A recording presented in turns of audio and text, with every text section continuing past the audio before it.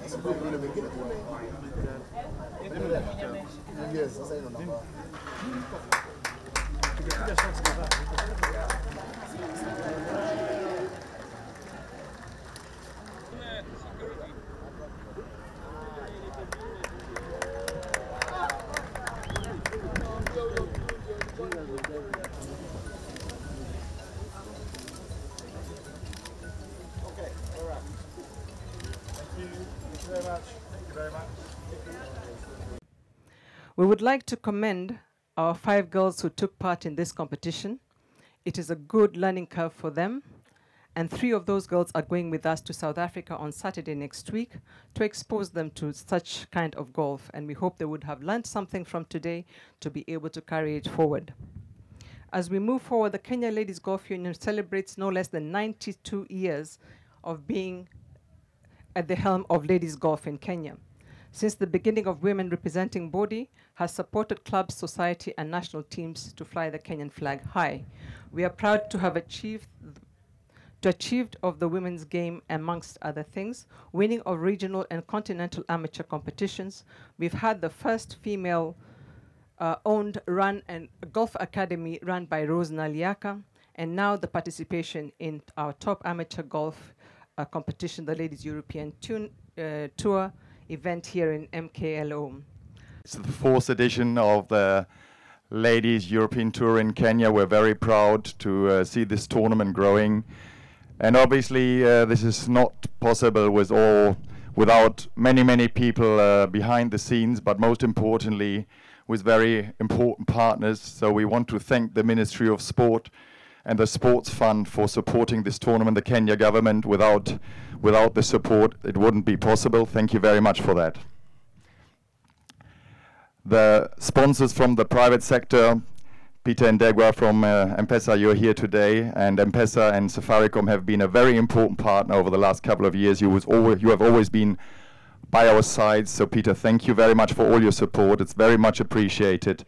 We have great partners like EABL, Absa, a new partner this year, so uh, great, great to have them on board. We are happy to be inv- involved uh, in the uh, Magical Kenya uh, Ladies uh, Open again this year. Uh, this is our fourth year that we've been involved with this tournament. Over the past four years, we've spent about 100 million Kenya shillings in terms of sponsorships. This year, we have put in 34 million. We're happy to continue to be involved in, i- with this tournament. Uh, it showcases sports uh, in this country, but also as a, a destination for tourism. Uh, so happy to be involved with the Vipingo. Uh, once sports for us is, is an area that we know is a passion point for Kenyans. We are involved in various sports, uh, so Prime Cabinet Secretary and uh, CS Sports and also PS. We are happy to partner with the government uh, across all sports areas. Uh, we are very big with Chapa Dimba, which is in football. Uh, we are big, of course, with golf, and we have been involved many, uh, for many years, and I'm, I'm sure we'll continue to be involved in the future. We'll be involved in the Olympics uh, uh, in, the, in the coming, uh, in the coming months as we lead up to Paris this year. And uh, I just want to commit the Safaricom and M-Pesa. Uh, so this year we are represented by M-Pesa uh, Global, which is a partnership between us and, and Visa International uh, that allows uh, customers to be able to access uh, M-Pesa and Visa uh, in an interoperable way uh, as you travel either into Kenya or all across the world. We have invested heavily in this event as government through the Sports, Arts and Social Development Fund, which is represented here by the CEO, my brother Nuh. And I want to thank the fund that continues to anchor our support to the entire ecosystem of sports and the creative economy. This sponsorship is really in the context of one, the Talanta Hela initiative, and Talanta Hela for us really is demonstrating government's commitment to transform sports into a mega economic driver and to offer the young people of this country the opportunity to grow nurture, and monetize their talents. But this is also about anchoring Kenya as a key destination for sports tourism. The show has had an impressive field of 108 players from 38 countries across the globe, including Finland, the US, England, South Africa, China, India, and of course, players from our very own country, Kenya. And to all the players and our guests who have come from all over the world, we once again tell you, welcome to Kenya. Karibuni to magical Kenya, the land of Hakuna Matata. We have had 10 African players in total that included five Kenyans. And this team, Kenya, was constituted by Naomi Wafula, Kelly Gashaga, Jacqueline Walter, Mercy Nyanchama, and the youngest girl in the field, 17 year old Chanel Wangari.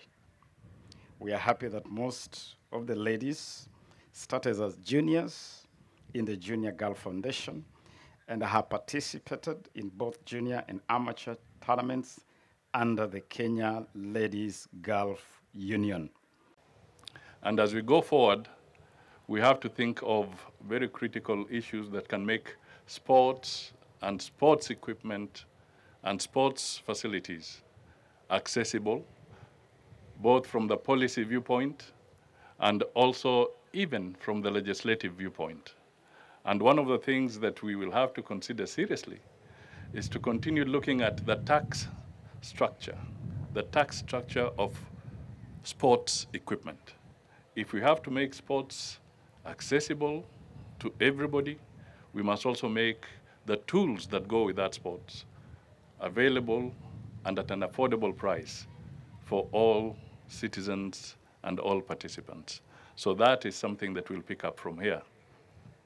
The notion has been that golf is expensive, golf is elitist, and it's out of reach for many Kenyans.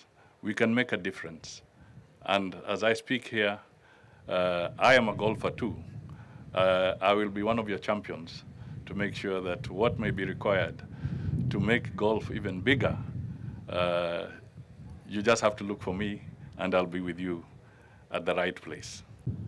Kenya is now a visa-free destination. The President of Kenya made a pronouncement that with effect from 1st of January this year, Kenya shall be a visa-free nation. His simple message is that Kenya is the cradle of mankind, and therefore you do not, do not need a visa to get back to your home. So wherever you are, feel free to come to Kenya, enjoy the beauty of Kenya, and be part of Kenya. We want more investment. We want more people to come here. And I can assure you that uh, that is the focus. That is where we say we have our eye on the ball. We are fixated on that ball to make sure that the Kenyan space becomes the natural habitat for all those who want to seek a moment of glory and a moment of peace and stability. This event is taking place in a global environment that is full of conflict, full of challenges. And the fact that we can be here in Kilifi, in Kenya, and enjoy such a tournament must never be taken for granted. Just ponder to reflect those centers that don't have peace, where there's conflict, where there's dislocation, where there's displacement, where there's a humanitarian crisis. So as we enjoy these sports, just try and fathom the value of peace. It is so valuable. You cannot buy it.